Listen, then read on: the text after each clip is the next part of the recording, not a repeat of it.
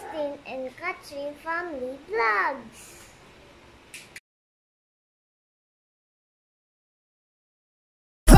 Now we catch 'em at the chicken spot. Up a couple chops, pop that